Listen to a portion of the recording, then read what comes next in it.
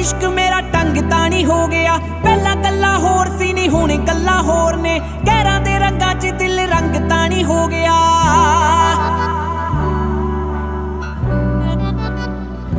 ਨੀ ਵਹਿਮ ਦੂਰ ਜਾਈ ਕਰਕੇ ਤੇਰੇ ਫੇਰ ਨਾ ਰਹਾ ਚ ਮੈਂ ਖਲੋ ਜਵਾਂ। ਲਾਜ ਮੇਰਾ ਪੱਕਾ ਕਰ ਦਈ। ਤੈਨੂੰ ਭੁੱਲ ਕੇ ਆਰਾਮ ਨਾਲ ਸੌ ਜਵਾਨੀ ਕਿਤੇ ਪਾਗਲ ਨਾ ਹੋ